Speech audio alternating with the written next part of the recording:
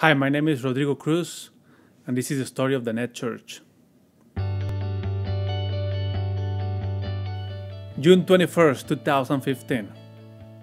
That was the first Sunday of the Nett, which that means that it was me, my wife, and my three kids in pajamas in our house. We had no money, we had no people, we had no building. We had a vision from God, and we have a Bible in our hands, and we have the support of the United Methodist Church. Next Sunday, we gathered a group of friends and those that we did not know. We met at Mountain Park Park, we grilled hot dogs and hamburgers, and we played cornhole, and we just had a birthday party for the church.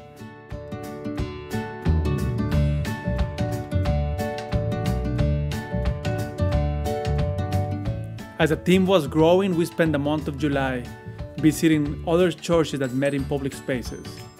During the month of August, as we continue to make a presence in the community, we started going to pray to all the places around us.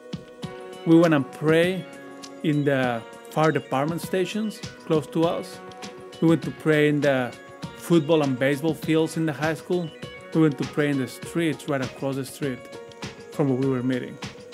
And we just started praying for God to send workers to his field.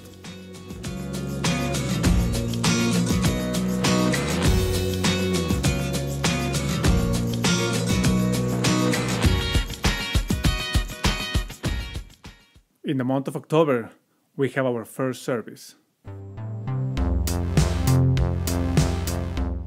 We call this our preview season. We show up to the high school at 7 o'clock in the morning, we unload a trailer and transform the high school into a worship space. We did that in October, we did that in November, and we did that twice in December.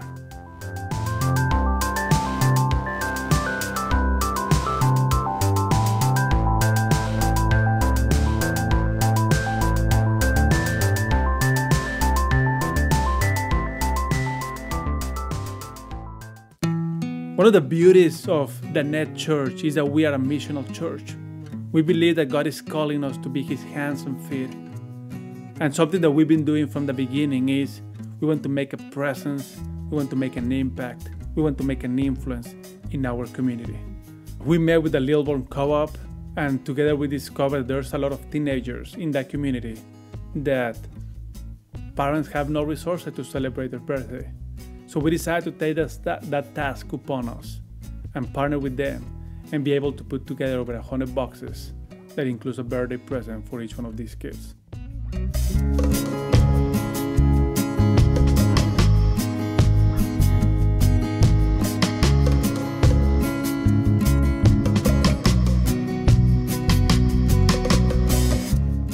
When I look at our Christmas Eve service in December 23rd, and I see a cafeteria full of people willing to take Christmas into a reality for those that perhaps have never heard the story of the birth of Jesus. That's when I got an assurance from God that we're doing what we're supposed to be doing.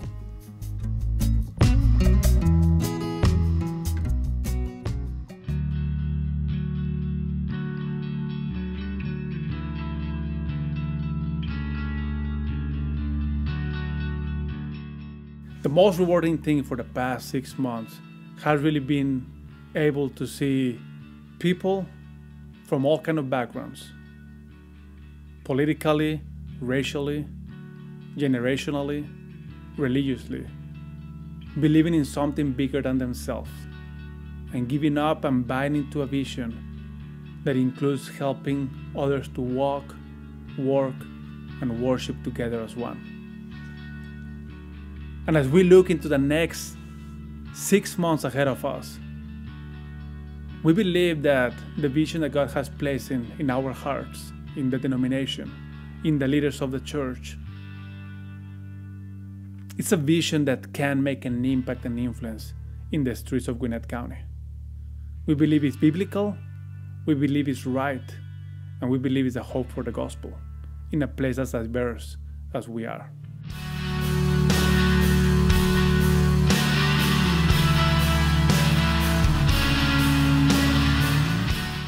With your help, we can continue casting the net.